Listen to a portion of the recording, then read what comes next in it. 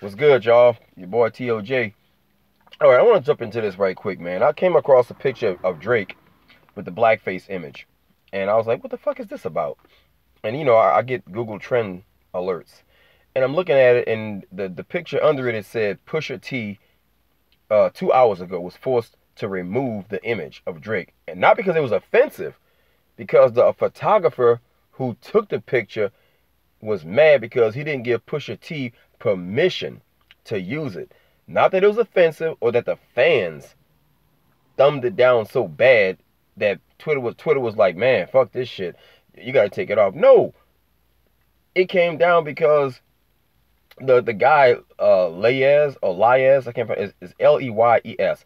This particular guy is from Canada. It's a Canadian photographer, I think, for a clothing line. And I don't know how Drake been famous this long and nobody never seen this picture.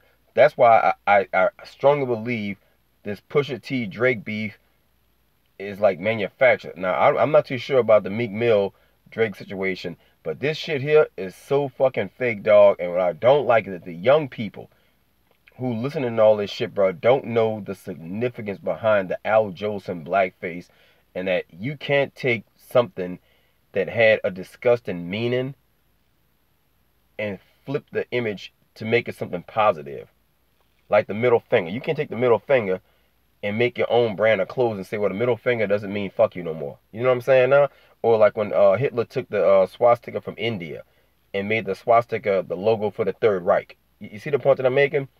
And what I don't like is Kanye West tried that same dumb shit with, with the um, the rebel flag and tried to make it some kind of black clothing logo or whatever.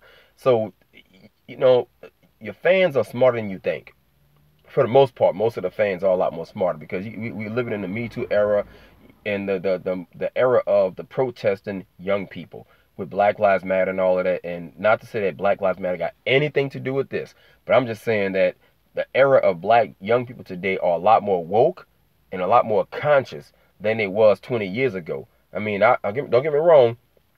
Oh, you know, I remember when Public Enemy was out there, but the fuckboy music took over Public Enemy and got Paris out of there it got Common out of that. It smothered, you know, Talib Kweli and all that shit. Then NWA came in.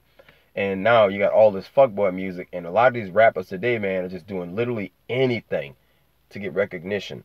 And they, they like um misconstruing a lot of shit historically to get some kind of shine. And for the most part, you can't really sully a lot of what was going on during the Jim Crow era and all those different um the iconography with you know the black face and the big lips and all that stuff and the story of OJ. Now the reason that Jigga did it was he was trying to uh, juxtapose the fact that OJ Simpson was trying to pretend he was something else, but in the in the long run, that's how society at large viewed him as the foot shuffling, step and fetch it kind of character.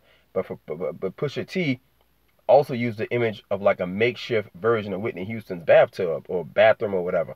So you know what I'm saying now? Like there's a certain level of taste that you gotta have with yourself, bro, when you're out there trying to make like a name for yourself. Because controversy is good, even if fucked up controversy brings attention to your name.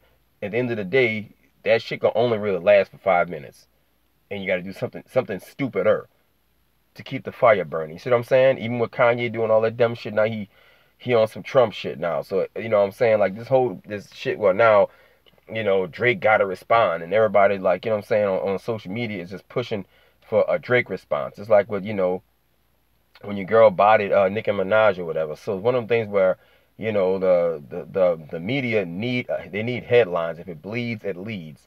So, um, but I don't really mind the beef, bro. The beef is what it is.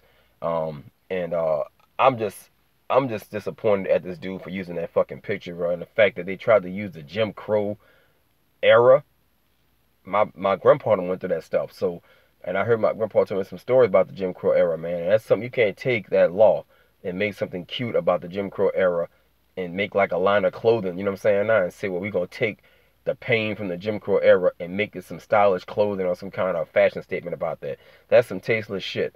So anyway, the uh the photographer who took the picture was bragging about it. And that that's the weird part about it. We don't I've never heard of this photographer or the brand of clothes until the the Google, you know, um Google Trends put the picture in my um in my, my, my phone. This phone here, I get the Google Trend alerts when I open unlock my phone or whatever. And I was like, what the hell is this? Pusha T is doing some other some other stupid shit. And now it's the the song of the or the song or the story of Adidon Ad, Ad I can't pronounce that A D I D O N Adidon, but I don't know, bro. Added on or some shit. But I'm just saying, this is this is getting stupid, bro. I'm I'm it's hard it's hard not to follow it because it, you know what I'm saying everybody on on my Facebook page keeps saying all right Drake got five days to for to respond now they got somebody one of my partners um real comic book nerd dude he put a picture of, uh, of Thanos with the fucking fist and he told Drake um I hope they remember you so I'm just saying, there's some cute shit going on, bro. But I mean, come on, bro. It's just rap music. It ain't that fucking, you know, that that that serious. What what Biggie and Tupac had, it unfortunately led to the death of them two brothers, bro. That I didn't like.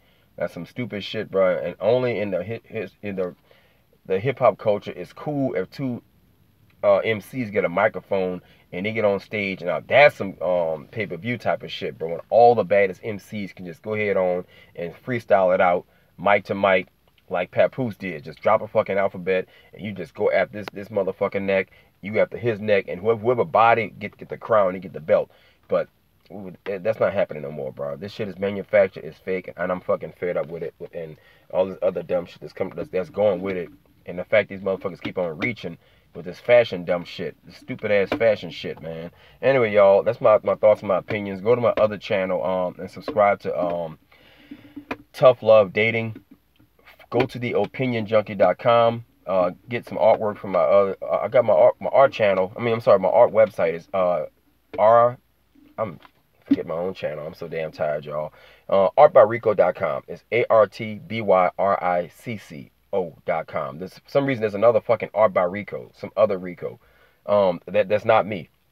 But anyway, uh, also go to the Opinion Junkie Facebook uh, Facebook page. All that's on my all those links on my social media. Um, links to my social media are on the OpinionJunkie.com. Anyway, guys, that's it, man. I'm out of here.